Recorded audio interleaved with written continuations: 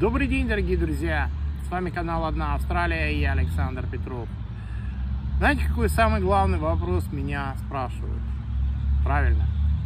Когда откроются границы и когда можно будет въехать в страну? И это как-то связывается с локдаунами, с закрытием наших передвижений. И это не совсем одно и то же. Поэтому здесь, в принципе, ответ идет сразу на несколько вопросов. Что касается отношения к своим собственным гражданам, и это такой очень неприятный звоночек для вас, потому что вы часто заявляете, что вы хотите ехать ради свобод и так далее, а не ради колбасы.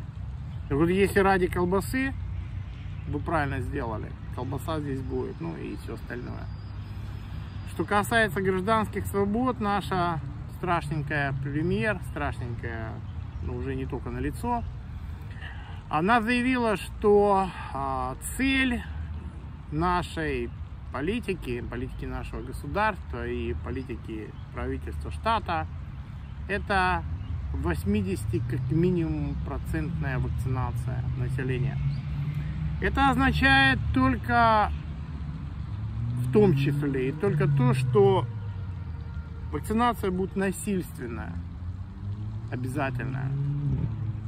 Против этого выступают некоторые партии, и во всех партиях отдельные члены парламента, отдельные члены, но, как говорил Алексей Жемчужников, я знаю, есть лица, душа в них живая, но что единицы для целого края? Это единицы. Основная масса это хитрые, а люди, которые получают денежки от народа и знают, что получают они не из рук народа, а из, народ, а из рук власти.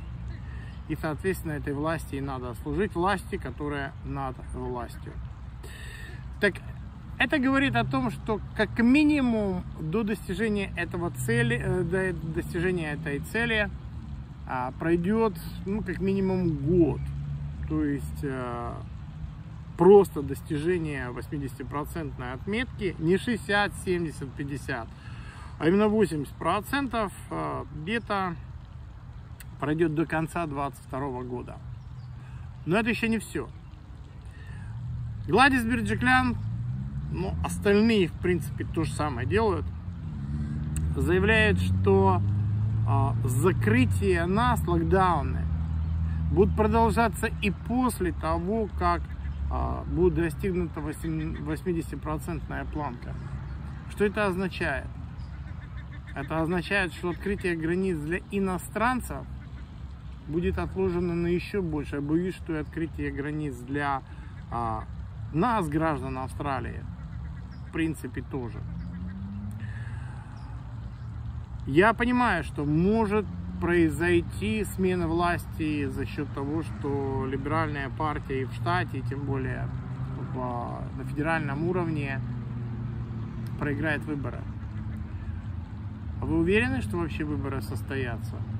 При форс-мажорных обстоятельствах выборы могут и не состояться. И тут остается уповать только на нашу королеву, потому что а, генерал-губернатор такого премьер-министра может сместить.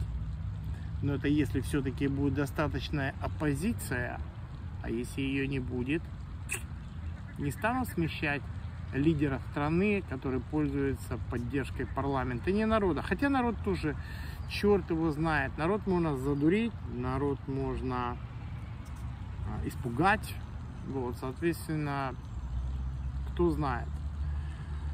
Поэтому я бы, судя по тому, что болтают злые языки, что чуть ли не до середины 25 года будет перезагрузка экономики, политики и всего остального в мире. Если это так, ну вот вам и ответ на вопрос. Что касается вообще иммиграции, она никогда не останавливалась. Но эмигрировать могут те люди, которые действительно нужны страны, стране. Если у вас есть хороший, солидный, известный в Австралии работодатель, это не проблема. Вот, Ксюша мне говорила о том, что человека берут, он а, айтишник. В принципе, другие ребята говорили на инженерные специальности. Просто надо иметь работодателя, и этот работодатель должен быть, ну, грубо говоря, не фуфло, а настоящий работодатель. Соответственно, вот вам еще а, подсказка, как сюда эмигрировать. Найдете ли вы работодателя и сможете ли вы на него поработать, находясь за пределами вот этого вопроса. Опять-таки, если вы этого не можете сделать, значит вы хреновенький специалист. Будут пускать наверняка студентов на докторские. Но на достаточно нелегко, по крайней мере, по тем темпам вашей подготовки, которые я сейчас вижу, достаточно нелегко будет вам выйти на этот уровень. И достигнуть его смогут, наверное, только те люди, которые являются уже сейчас аспирантами или э, кандидатами наук. Ну, наверное, выше докторами. А, и те люди, которые в действительности зарекомендовали себя как нужные специалисты, за которых может поручиться, если не работодатель, как в первом случае, а, ну а организация, ну, допустим, компьютерное сообщество или а, объединение наших бухгалтеров и так далее. Соответственно, эти люди приезжают и сейчас, и они будут приезжать без остановки. Никогда не поддавайтесь на провокации подтверждением каких-то специальностей, которые сейчас сплошь и рядом вижу. Подтверждение специальности вообще ничего вам не дает, потому что начинать надо с конца. Надо вообще постараться трудоустроиться. Если вы трудоустроены, если вы работаете на австралийскую организацию, то здесь два варианта. Либо эта организация попросит вас в кратчайший срок подтвердить э, свою квалификацию через соответствующую подтверждающую организацию в Австралии, тогда вы это э, делаете.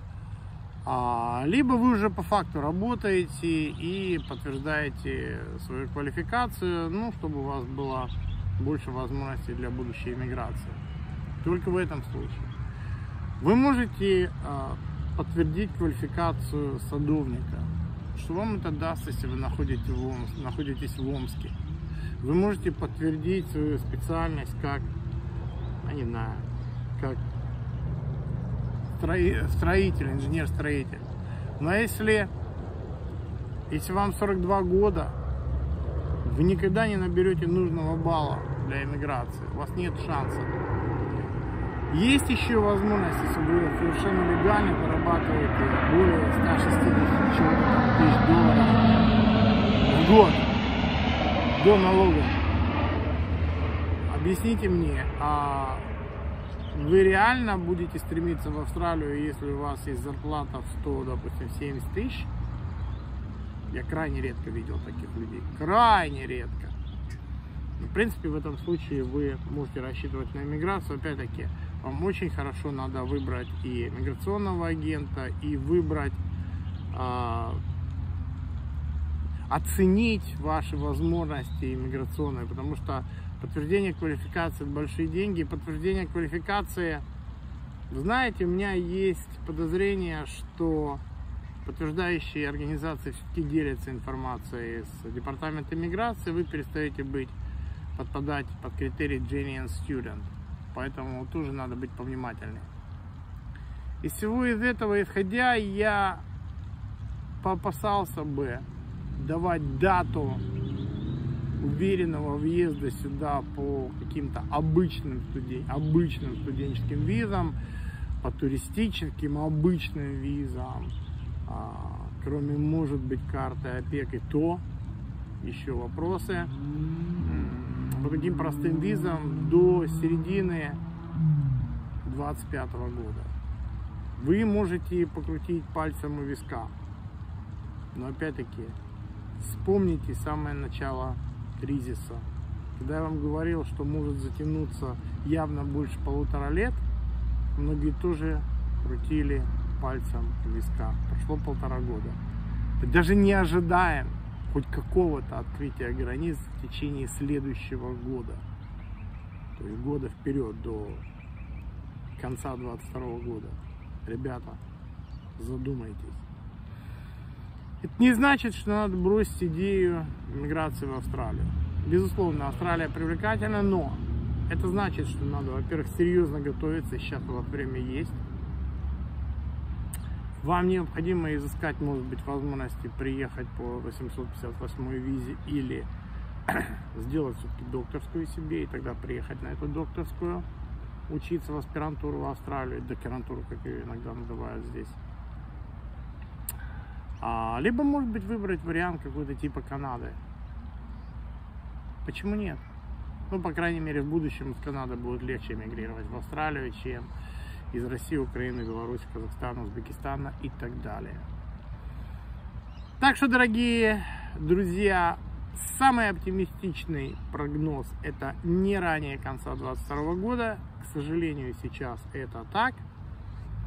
То есть, если только народ начнет возмущаться, и если только в мае он вынесет либеральное правительство ногами вперед из парламента, и, короче говоря, если все будет складываться как нам бы хотелось, при этом параде планет мы можем надеяться, может быть, на конец 22 года.